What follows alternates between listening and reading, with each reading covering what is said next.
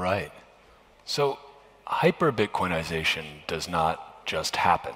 It requires people and companies building scalable, interoperable, open source software. Next up, we have John Carvalho, CEO at Synonym with More Than a Wallet. Please give John a warm welcome to the stage.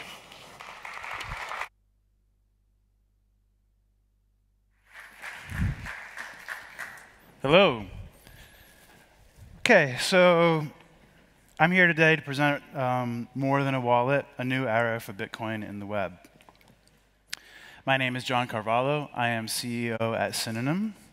Um, for those of you don't, who don't know what Synonym is, well, we're basically a company that's trying to assume that Bitcoin has already won. We want to show a sort of alternative economy that has all of the different software, services, protocols that you would need to basically have a world where we know that Bitcoin is the primary store of value and it has basically dismantled the powers of big banks, big tech, big government to have central control and oppressive power over the individual.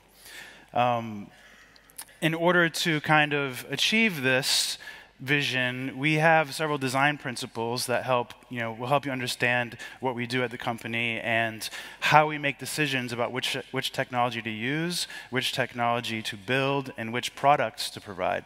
Um, the first one is Bitcoin, not blockchain. So we just basically believe that the only thing, literally the only thing that you need a blockchain for is Bitcoin.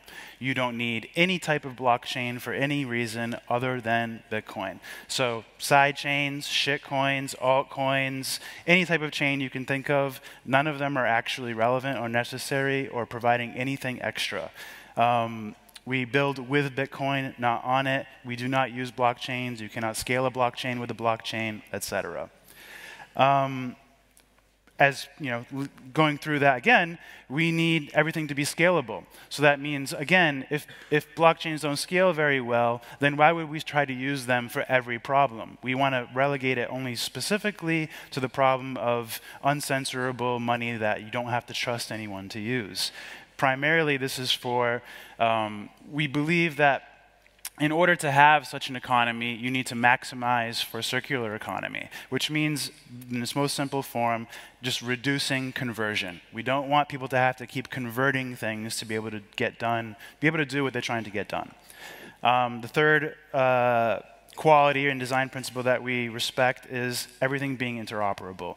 We want to make sure that however you operate in a digital economy, that you are fully portable and dynamic and you are controlling the situation. Um, privacy minded. We think that uh, the most important question when it comes to privacy is who do you trust? Um, I believe that privacy is lost, not gained. And so you're always having to decide in a network situation, especially, who you are performing in front of, who you are interacting with, who you are choosing to have be part of your digital actions, because you are always creating metadata when you act on a network, and you want to be selective about who can see you on that network. So we're very privacy minded and trying to keep things localized and relative to only the people that need to be involved. And then the final one that I'll mention today, at least, is self-custodial. You know, we want you to hold the key for everything. We want you to hold your own Bitcoin, hold your own data, hold your own uh, accounts, contacts, etc. Again, please placing the individual at the center, not the server. We don't want the situation with big banks where they hold all your money, with big tech where they have all your data in a walled garden. We want you to be the one in control. Again, putting the keys in your hands. Keys aren't just for Bitcoin. Keys are for your data, keys are for your identity, keys are for everything in the future in the new Bitcoin economy, you're going to need more than a wallet. If you have keys that are you're using for everything, you need, you need keys and you need tools to be able to operate in this new economy. So today, what we're going to do is we're going to start with a video introducing you into the product that we're releasing, um, and then I'm going to continue and describe the product.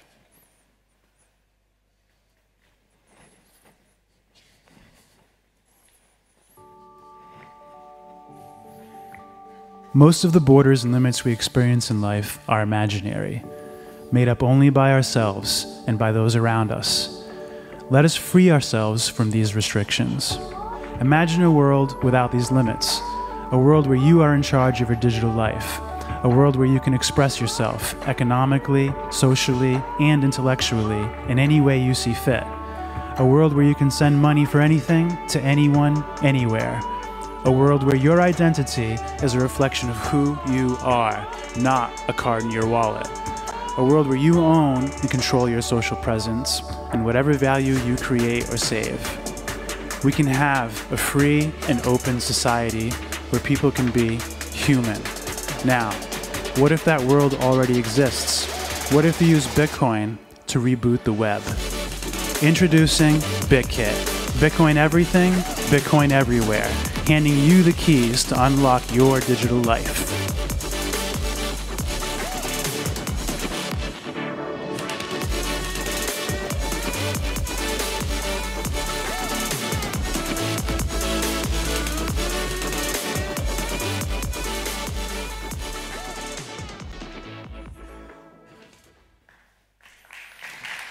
Thank you. So, BitKit. Um, we've been working really hard for more than a year now on trying to figure out the best way to encompass a full toolkit for everything you would need to operate in this digital economy that we're trying to build, this, this possible future where Bitcoin has won. And so we ended up with this application, this mobile app called BitKit, um, to be your ultimate Bitcoin toolkit. We're all here today for a few reasons. Um, if you look at the brochures and the website for the Plan B Forum, you'll see that there are three tracks to this conference, and we think that BitKit and our whole vision really um, is, is illustrated very well and, and, and that these priorities are covered very well by this application. So we're going to start by framing it through these three tracks. One, Bitcoin adoption. Obviously, we want everybody to have the opportunity to have the kind of freedom qualities of Bitcoin to financial freedom. You know, we want to make sure that people, again, aren't, you know, stuck and oppressed by banks or their governments. And freedom of speech, same thing. We want to make sure people can say and be whoever they really are. So how does BitKit help with all of this? All right, let's start with Bitcoin adoption. You know, a lot of people like to worry about, oh, Bitcoin's too complicated for my grandmother, uh, Lightning is too complicated, etc.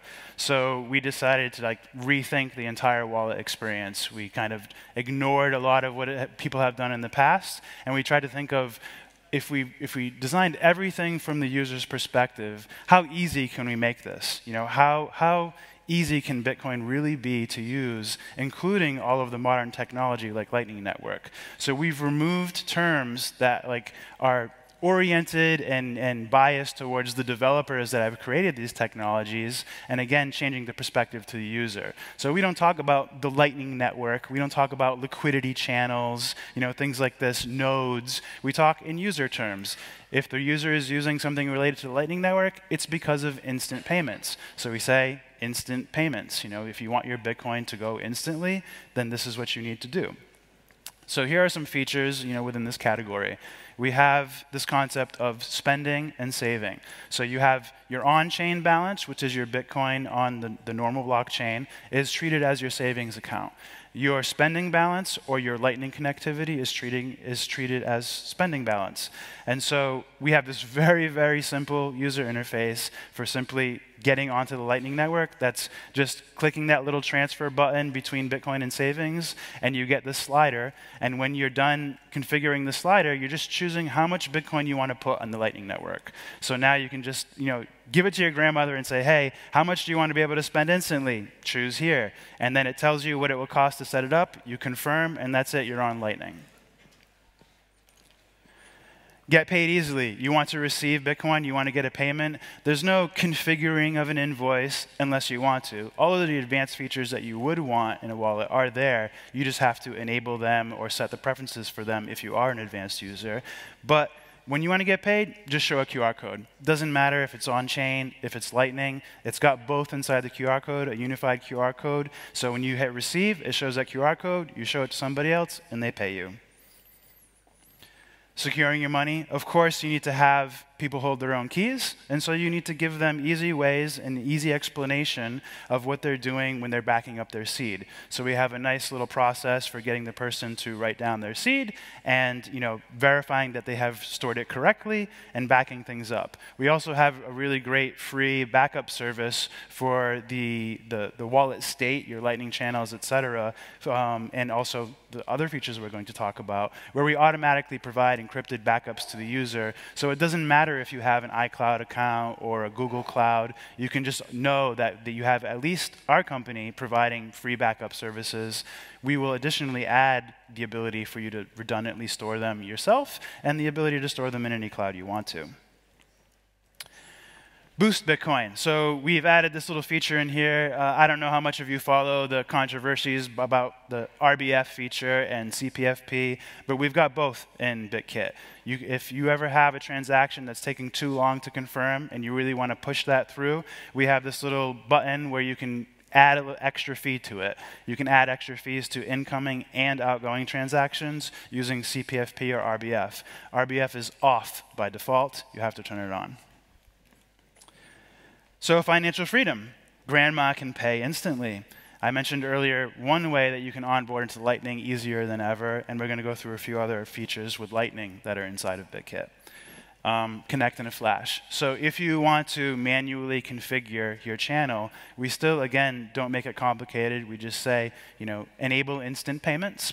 And we give you a couple slides where you have to configure this. How much money do you want to be able to spend instantly? How much money do you want to be able to receive instantly? You set those two things, you confirm, and you're on Lightning. Quickly paying people. Um, this is a cue to some more cool features we're going to mention in the next set, but you can see here the person that has used this has just set an amount, chosen a contact, and just hit pay. That's it. Very quick payments, quick because of Lightning, quick because of setup, no complication. How does this work? Well, we've deeply integrated our LSP server called Blocktank, which is a separate product and service that we um, launched in March, I believe. And this enables any wallet, any exchange, any platform to be able to integrate Lightning capabilities without having to run Lightning themselves or to any degree which they wish to run Lightning themselves. So the wallet in BitKit is actually powered by a node, a very lightweight node that runs very quickly, made by the people at Spiral um, called LDK. We've implemented LDK into React Native, which is all developer stuff inside of our wallet. And we've integrated Blocktank, our LSP. So this is how we can be more sensitive to what the user, user is trying to accomplish when they're trying to get onto Lightning and when they're trying to make Lightning payments to make them all very reliable and very fast. We also give the, the normal kind of fees, you, I mean, sorry, the normal kind of features you would expect for coin management and connecting to the Lightning Network. So if you are an advanced user, you can enable coin selection, which is something where you pick which Bitcoin you want to spend when you're spending. And you can also go into the networks area of the settings and look at all of your, your Lightning channels and manage them like you would in a traditional Lightning app. The third section, freedom of speech. Grandma won't get canceled. Um, this is where we start getting into the really unique features.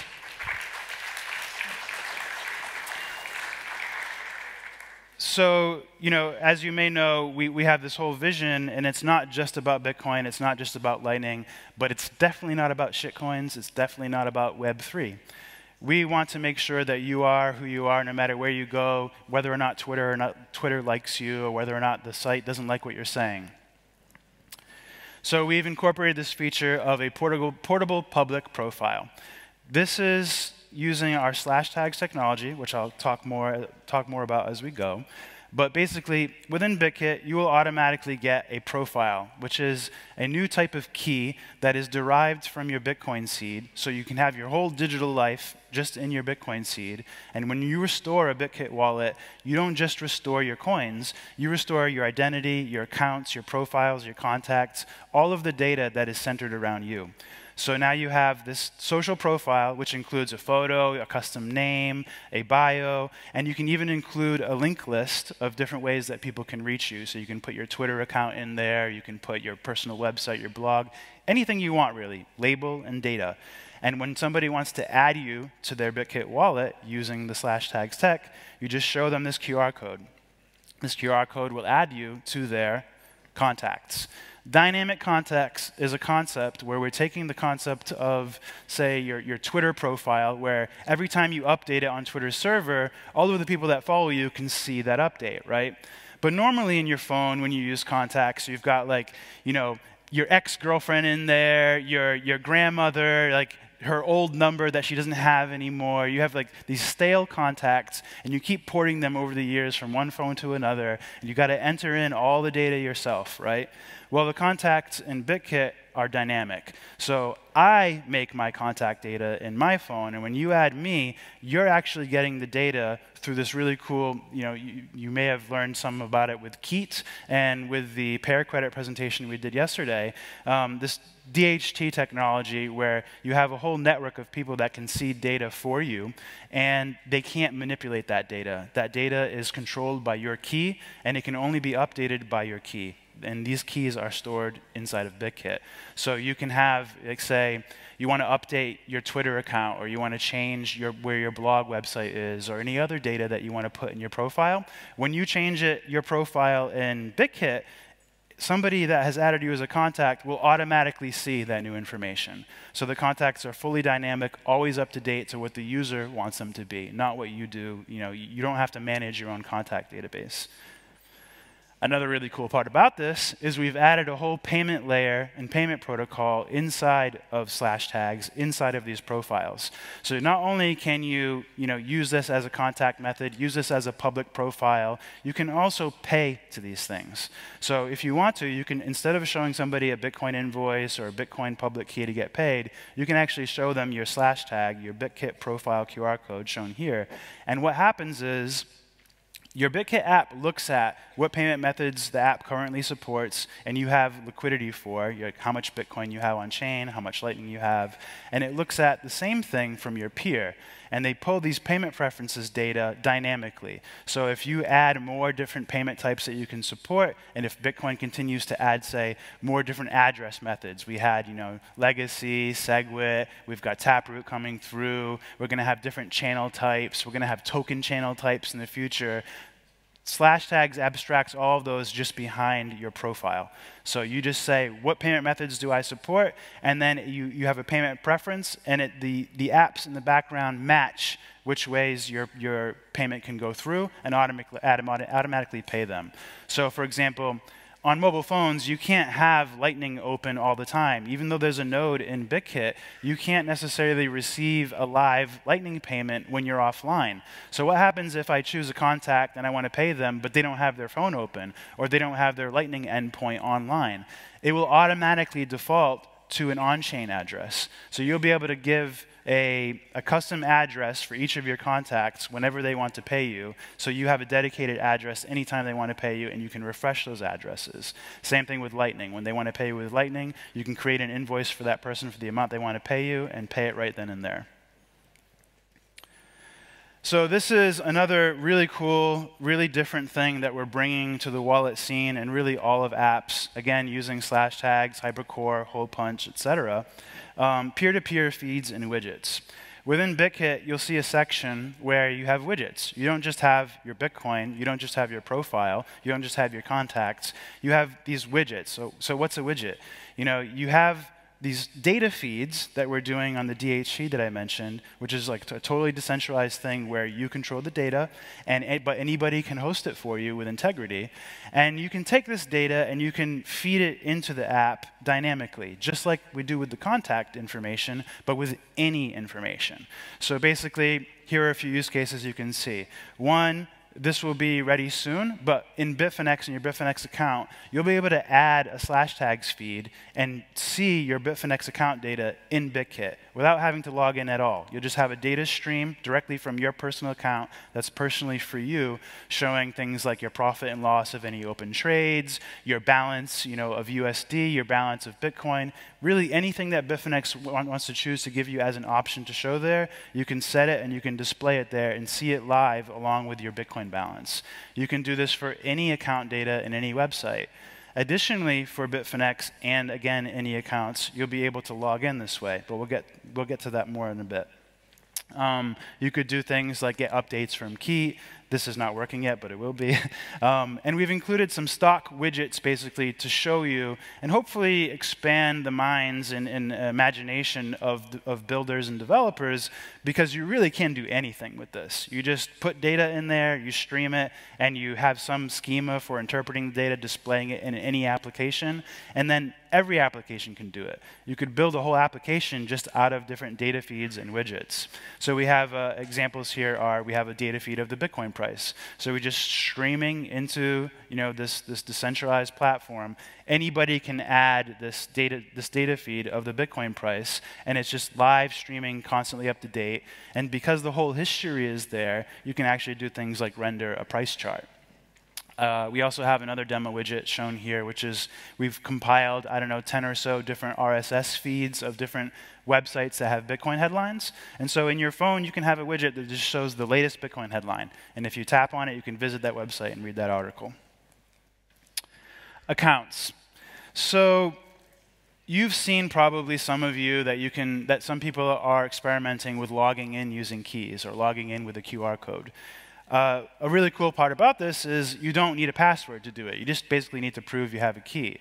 But an advancement on, on this that we were able to accomplish, use, again, using slash tags is it's not just one-sided the website has to prove they are the website you expect too. So we're doing things like making it harder to have middleman attacks and making it harder for websites to be censored as well. Suppose you have an account at the Pirate Bay or something. You've, I don't know, you've paid to be able to get the best torrents or something.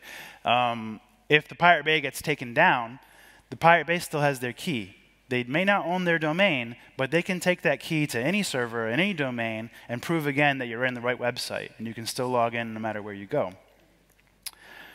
So we actually have an implementation of this with a company called Starbacker. They're a startup trying to do, you know, adult-friendly, kind of like OnlyFans social media. Now imagine, you know, this is, this is a risky situation. I, I want to make a profile on this website. I want to have my fans. Maybe I'm a cam girl. Maybe I'm, you know, whatever, I'm doing, I'm doing behavior that not every website actually likes. But if Starbacker decides to cancel me, I still am me no matter where I go. I have my profile, I have my key. They can't cancel me. They can only decide to stop serving my data. So Starbacker right now today, when you install BitKit, you can go to their website, you can make an account just by scanning a QR code, no email address, no personal information, nothing. You just go there, scan the QR code, log in. And if you want to, you can even have Starbacker pull your public profile data that we talked about earlier and populate your account with that data. You can say, use my photo, use my name, use my bio, etc. So you can start seeing how these profiles could be used everywhere. So how is this possible? As I mentioned, we have this really cool um, protocol that we've been working on creating called slash tags. Today, we're actually formally, releasing what's pretty much the first version of it. We've got a slash tags SDK, we've got a new website, we've got a bunch of content for handholding, uh, we've got a whole playground, but we'll get into that in a minute. Um, these are some of the features. You know, I, have run through most of them with you today, but these are all things powered by slash tags. Portable profiles, distributed feeds, negotiated payments, modular widgets, dynamic contacts, passwordless accounts, the magical keychain, and encrypted backups. The Playground and SDK are live right now if you want to play with them when you get home. Um, the Playground basically includes several examples of how you can create user experiences in your website and your application using profiles, using slash tags, using contacts, using slash pay, the payment features. All the things we talked about today can be put in your hands in any application. Anybody that wants to support slash tags can. It's a free open protocol, open source. Anybody can contribute to it and anybody can implement it, especially a lot easier now that we have our first SDK out. So yeah, that's BitKit. That's the summary of it. It's available now. I hope all of you give it a try. I will disclaim that it is in beta. um, and so I know you will find bugs. So it's a beta testing situation, but it works very nice. It looks very nice. I look forward to all of you giving it a try. Here are some things that are coming up from slash tags and BitKit. Um, you saw hopefully yesterday where we announced Pear Credit, which is a way of doing tokens and any form of credit without a blockchain at all, instant, free, peer-to-peer, -peer, no routing, no liquidity problems. We'll support that in BitKit next year, so you'll be able to have, say, for example, te instant tether tokens that you can transport for free without having to use a shitcoin and without having to use Bitcoin. Um, subscriptions, memberships, allowances. We're also next year going to add the ability to buy Bitcoin. Um, a lot more widgets, a lot more cool ideas that we have for showing you slash tags and widgets within the application and future products. Um, and we're going to start working on reputation and storage markets, which are really important primitives for peer-to-peer -peer web solutions. Um, but we'll probably talk a lot more about that next year. So again, you can scan this QR code to be a part of the limited public beta testing. Uh, um, I think it's limited to maybe 2,000 people or so, 1,000 for each platform, so get it quick. And I look forward to your feedback and your consideration with all of our products and vision. Thank you.